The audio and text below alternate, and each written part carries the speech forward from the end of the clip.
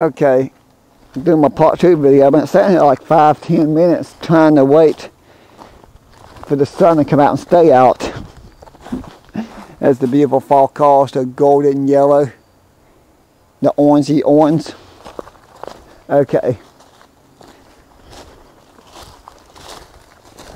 I don't know if that orangey orange is the best, it's the right, it's the right way to say yeah, getting that in your hair.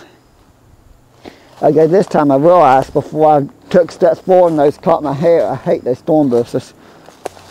They're extremely painful. Uh, that one's turning brown. It's been pretty dry lately. We need a good storm where rain and stay like rain for two or three days. Interesting thought. I love how beautiful this do here in this abandoned rail line, the Mill Creek Spur here. Like those little thorns are painful, but it's interesting thing about when Jesus was crucified on the cross and died for his sins. That, that crown of thorns they put on his head, those thorns are, were pretty good sized thorns. And just having a little thorn pluck your skin just, to, just enough to make you bleed just a slight way, boy does it hurt. So this small thorns. I've, I've seen some pretty long thorns. I think I got one stuck in my arm one time that was like an inch long. Yes, that hurt a lot.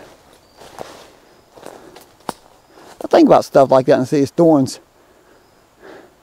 Of course, I thought about a lot of that stuff when I seen those three crosses of the there. I ain't got and try to film the training packs again. Can't promise I will, can't promise I won't. Because it seems to me like when I sit in Pax and wait forever to film those trains, trains, the trains don't go by. Well, the Dunloup Creek branch line is Sugar Creek Spur, but it's, it's the Canal River rail lines, the one I seem to have extremely difficult time filming on. I can sit there for hours and nothing go by. Dunloup Creek branch line runs by my house, so it's easy when the train go, trains go through there every day, two or three times a day. Well, almost every day. I don't think I go through on Sundays most of the time. You know, but I love how beautiful it is to here. Oh, you know, Mill Creek got its name, I think at one time, I was told by, by one of the old, some old timers, one of the old timers has passed away since then. He grew up in the early 1900s. Well, actually, wouldn't grow up in the early 1900s. I think he grew up in the 1930s, late 1920s, early 1930s. I think his dad worked for a sawmill. There was a, I was told there was 10 sawmills up here at one time. Of course, there's also a couple coal mines. The first, here's the interesting thought, the first actual coal mine here that I know of, well, I wouldn't say the first coal mine, but now, I don't know, I think the first coal mine opened up in 1900 here. There's actually, but the very end of the line, that's the coal camp of Lee. There's a coal camp called Lee a little ways up. I won't make it that far in this trip because I don't think I have time to walk that far, film and walk back. That's easier than jump in the car and just drive there because it's because it can take the road right down into the coal camp.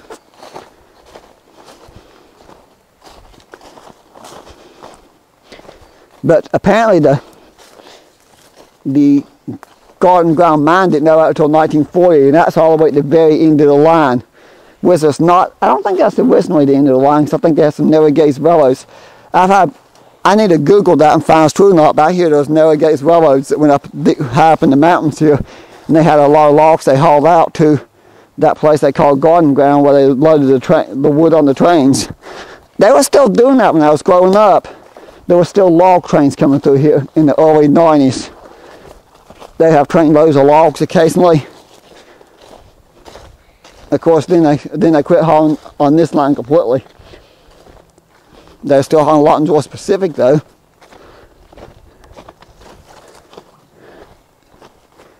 But I love how beautiful this through here. It's hard to get the fall across this light. One, it's almost four o'clock, so the sun is going down. Number two, the sun don't want to stay out. Keeps popping in and out of the clouds. Just, just enough cloud cover to where the sun's not staying. But there is a beautiful waterfall up here I filmed on my old YouTube. I accidentally locked myself out of. I don't think I'm gonna go to it this this trip. And I'll come back. I'll probably come back here in the coming weeks. I do plan on making a few more trips here to do some more videos of certain places, a few spots here, when the, especially when the trees get more colorful.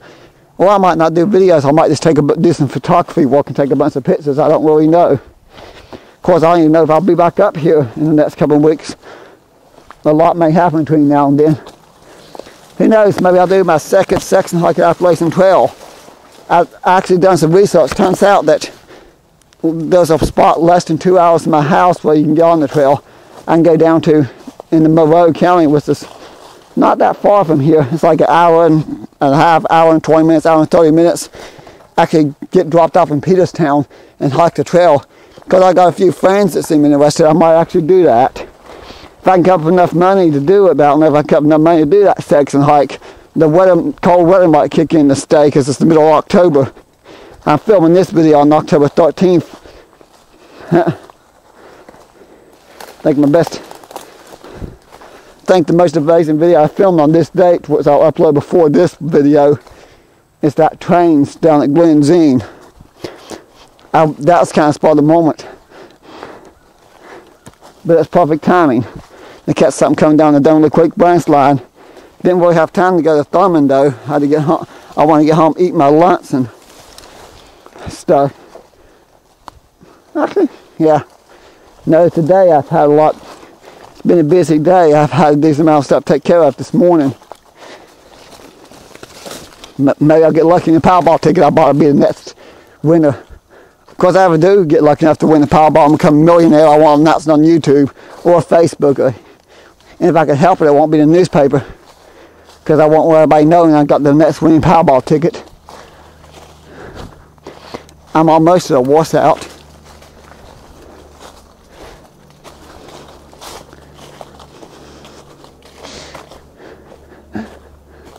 On days like today, I'm trying my best to remember to say the date when I film something, just for a simple fact I don't know what day I get to upload anymore sometimes. When you get a whole bunch of videos, it's kind of, sometimes it's hard to get that. October 13th, 2021. I think I pointed out 2021. I actually filmed up here a little over a year ago. I remember coming up here and filming. Of course, since I restarted my YouTube, I'm refilming a lot of spring up thorn in the flesh. Ow! That was a thorn in the side. Quite painful too. Yeah, keep an eye on the time. I'm not gonna make it to the back to the library before they close. They close in like less than 20 minutes. Now probably, it'll probably take me about at least 20 minutes to walk out of here. Oh well.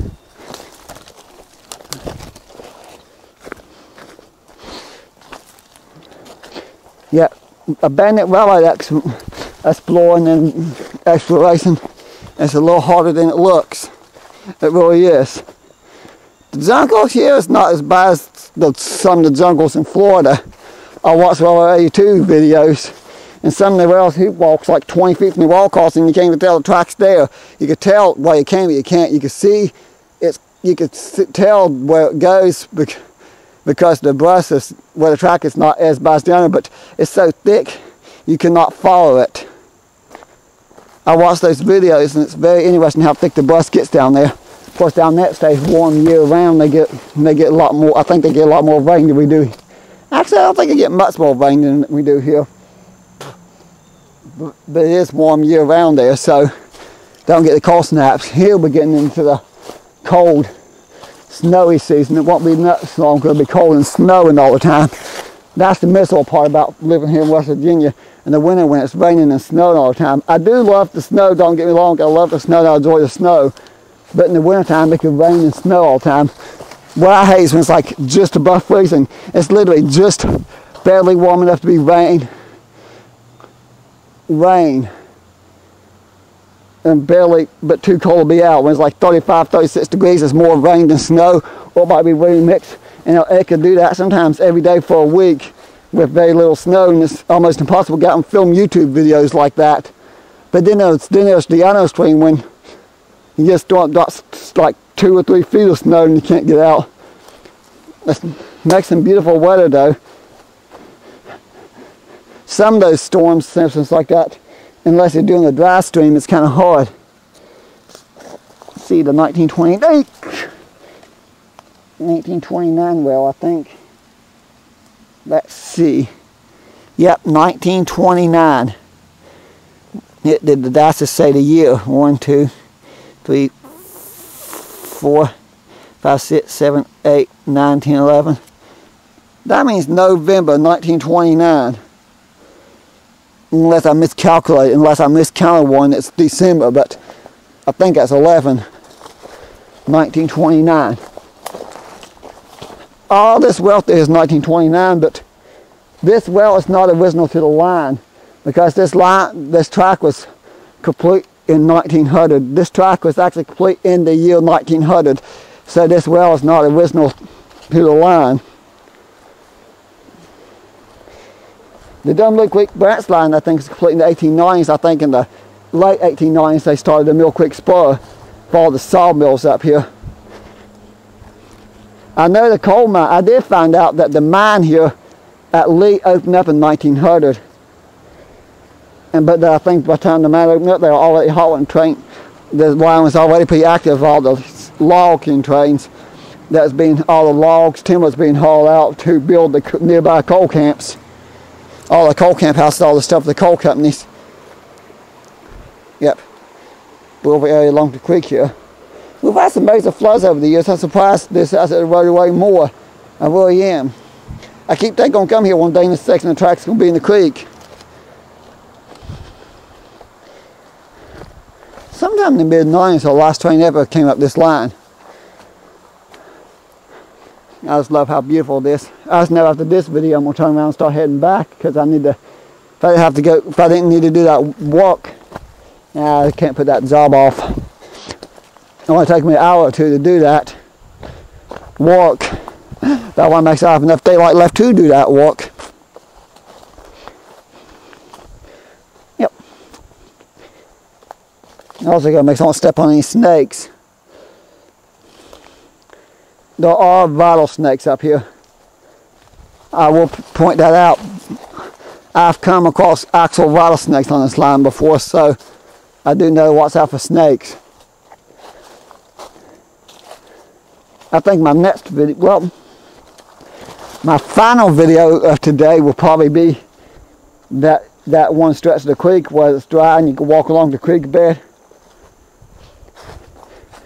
one other video. If I can get to that rock wall down here, I'm going to try to film this wall. That one's kind of iffy. I don't know if I can get to it or not.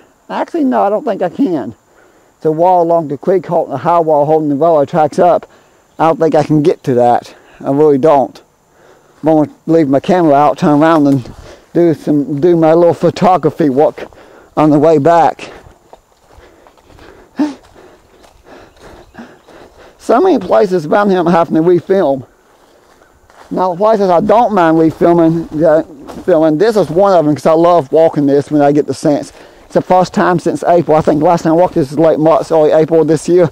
It's the last time I came out this far. And it's October. Of course, I think I did do a video too, which I uploaded, then I got locked out of that YouTube. Hope I don't sound, sound like a broken record repeating that in a lot of my videos, but I guess I'm still irritated about that oh well. Sometimes life will throw, sometimes life will throw you something like that, and you have to actually deal with it. Oh, well, at least the train didn't come. I've came up here before and filming. I get way up here and I'll hear the train coming up the active Dunloup, part of the Dunloup Creek branch line going, going onto the mine spur to go in the packs and, I, and I'll be way up here and not film the train because there's no way I can get back. You know, like a mile or two up this line, I know I can't make it back in time. That does happen to me sometimes. I ain't know if they ever came back up. I thought they was going to come back up with a bunch of empty cars, but they never did. Oh well. Somebody hung Mickey Mouse. I literally just walked right past that, and then it dawned on me when I walked past Come think that's been there at least two years. When I first started, I think not long after I started my original YouTube, like 2018 that was there. It's still there. I'm kind of curious how long it's going to stay there. Of course, it'll probably stay there until the CSX removes this line. I could keep going. I think they removed those power lines up here. I think they did. I can't tell. I don't see them. Somewhere in this stretch, those power lines that crossed over the mountain that went somewhere, but Appalachian Power upgraders, I think they removed them. Either that or I'm not in the right spot. They might be a little farther up. I think they crossed in this area. I'm not really sure, but I'm going to turn around here in a minute. Actually, maybe not. I might have actually made it all the way to the coal camp and didn't realize it. Let me see. Well, if I did, I'll just do a third video. Now, actually, I and walk the road back. If I'm as close, I think I am. I might as well just get out and walk the road back. Okay, I'm not as close. I still got a ways to go. I thought I was. I seen the sunlight hitting that little clearing, and I thought I was there. That's where the power. That's the power lines straight ahead. That little clearing's where the power lines used to cross. Those high tension lines, but I think Appalachian Power removed them. They got that new set up, Price Hill. Going halfway up Price Hill. I think right at the, literally right just before the county line, just before you cross into Raleigh County.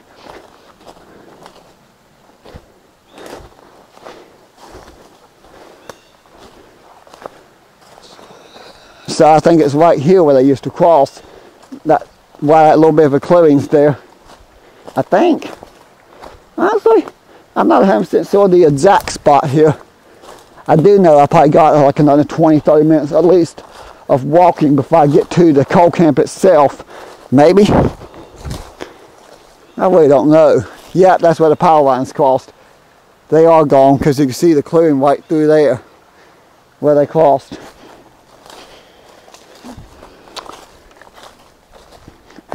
One of the best times of year to follow the follow these abandoned rail lines.